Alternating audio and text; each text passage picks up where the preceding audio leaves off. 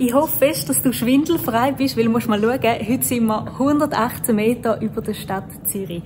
Was wir hier oben machen, das erfährst du in deinen SRF Kinder News.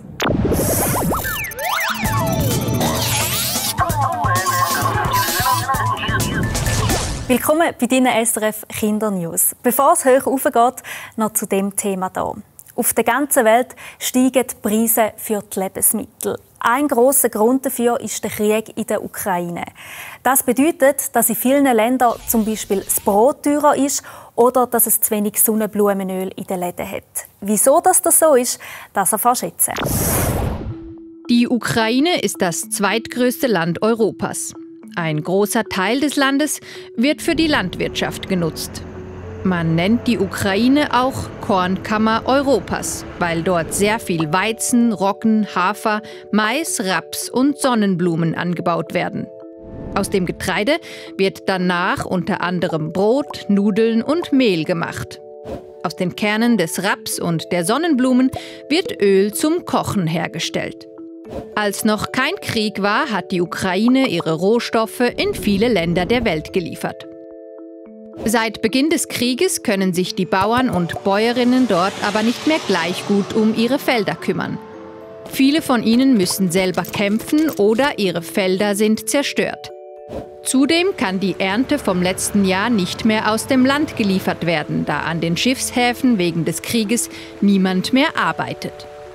Auch Russland, welches die Ukraine angegriffen hat, produziert viel Getreide, Raps und Sonnenblumen. Russland liefert wegen des Krieges vorübergehend auch keine von diesen Lebensmitteln mehr an andere Länder. Der russische Präsident Wladimir Putin sagt, dass er diese für die eigene Bevölkerung brauchen will. Es wird geschätzt, dass die Ukraine und Russland zusammen fast ein Drittel des weltweiten Weizens, des Raps oder der Sonnenblumen für Öle herstellen. Wenn nun sehr viel davon fehlt, haben andere Länder große Probleme.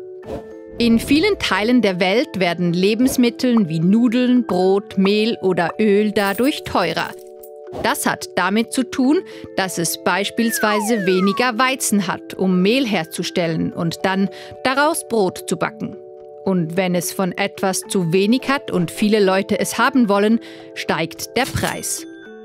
Besonders betroffen sind die Länder der Welt, die bisher viel Getreide aus der Ukraine und Russland gekauft haben. So zum Beispiel Ägypten. Dort können sich die Menschen kaum mehr ihr Fladenbrot leisten, weil es doppelt so viel kostet wie normalerweise. Expertinnen und Experten befürchten, dass in Ägypten und in anderen betroffenen Ländern nicht genug Menschen Essen haben, weil es entweder nicht mehr so viel davon gibt oder eben weil es zu teuer ist. Im schlimmsten Fall könnte es dann zu einer Hungersnot kommen. Du siehst also, für gewisse Länder hat der Krieg in der Ukraine ebenfalls schwere Folgen. Bei uns in der Schweiz ist die Lage viel besser und gleich erwartet man auch, dass die Preise für ein paar Lebensmittel teurer werden. Vom Weizen aus der Ukraine zum Weizen in der Schweiz. Der ist so wichtig, dass es da für den Weizen sogar sogenannte Pflichtlager gibt. Das sind Vorräte, die die Schweiz brauchen kann, wenn sie im schlimmsten Fall keine davon hätte. Ich bin mir so ein Lager anschauen und habe für das das sensationelle Hübli angelegt, das ja kein Haar von mir bei dir im Brot landet. Und ich gebe dir dazu noch eine Quizfrage mit auf den Weg. Und zwar wird nicht nur Weizen als Vorrat in der Schweiz gelagert, sondern A. Schocke oder B. Kaffee.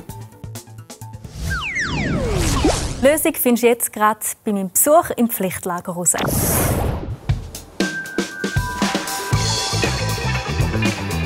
Es schüttelt, tut und macht. Hier in der Mühle in Zürich wird aus Weizen Mehl gemacht.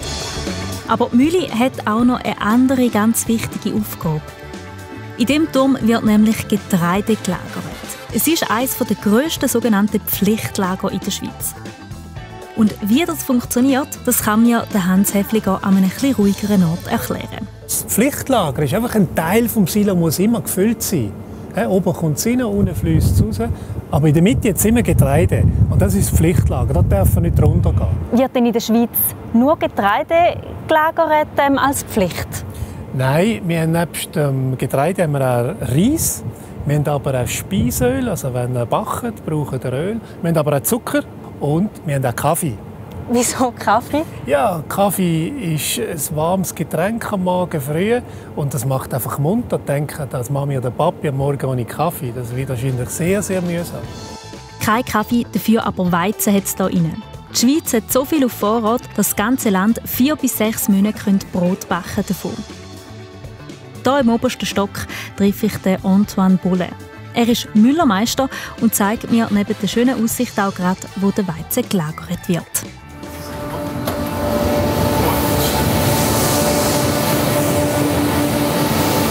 Es ist wirklich ziemlich laut.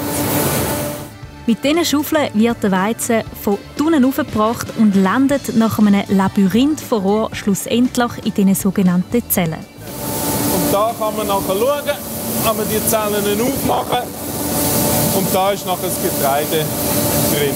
Wie viel Getreide hat es jetzt da drin? 600 Tonnen hat es jetzt in so einer Zelle drin. Das sind etwa 10 Bahnwege, die man draußen gesehen hat. Unglaublich. Elf Stück weiter unten kommt der Weizen wieder in diesen Rohr aus dem Silo raus. Ja, also jetzt sind wir etwa auf 40, 50 Meter und vorher auf 118 Meter. Jetzt sind wir hier oben runtergekommen. Da kommt das Getreide wieder raus, wo wir nachher in der Mühleformen zum Mehl verarbeiten. Ich bin mega fasziniert und weiß jetzt endlich, wie es in dem Turm Zürich von innen aussieht und dass uns Brot so schnell nicht wird ausgehen. Und jetzt weisst also auch, dass extra Kaffee gelagert wird in der Schweiz für einen Notfall. Die richtige Lösung vom Quiz ist also B. Ich weiß ja nicht, wie es dir geht, aber ich hätte definitiv lieber Schocke auf Vorrat. Der Krieg macht also Lebensmittel teurer. Und dann gibt es noch ein anderes aktuelles Problem, wo zum Beispiel elektronische Geräte wie Handy, Computer oder auch Staubsauger teurer macht. Wieso? In China ist Corona nach wie vor ein grosses Thema. Hier im Hafen von Shanghai sieht auf den ersten Blick alles normal aus. Aber das täuscht. Vor dem Hafen stauen sich fast 100 Schiffe, die keine Waren mehr abladen oder wieder aufladen können. Und es fehlen Mitarbeiterinnen und Mitarbeiter. Ein großer Teil dieser Stadt mit über 26 Millionen Einwohnerinnen und Einwohnern ist nämlich seit ein paar Wochen wegen Corona im Lockdown. Die Regierung hat teilweise Züge und Absperrungen aufgestellt, damit die Leute auch wirklich daheim bleiben. Das ist hart, weil zeitweise hat man nicht einmal raus dürfen, um genug Essen einkaufen. Und überall werden immer wieder Massentests durchgeführt, wie zum Beispiel hier in der Hauptstadt Peking. China hat in der Pandemie eine sogenannte Null-Covid-Strategie. Das heißt, China versucht, keinen einzigen Corona-Fall zu haben. Sobald sich jemand ansteckt, macht man alles, damit sich das Virus nicht verbreiten kann. Eben zum Beispiel ein Lockdown.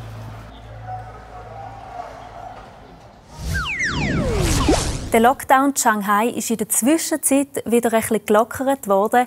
Die Läden haben wieder auftun und die Leute dürfen zum Teil auch wieder voraus. Im Gegensatz zu China hat die Schweiz gar nie probiert, gar keine Corona-Fälle zu haben. Die Schweiz hat darauf geschaut, dass die Spitäler nicht überlastet sind. Und weil die nicht mehr so viele Corona-Patientinnen und Patienten haben, gibt es momentan in der Schweiz auch keine Corona-Massnahmen mehr. Ich hoffe, du bist bei den nächsten SRF Kindernews auch wieder mit dabei. Am besten abonnierst du den Kanal SRF Kids auf YouTube. Tschüss und bis bald.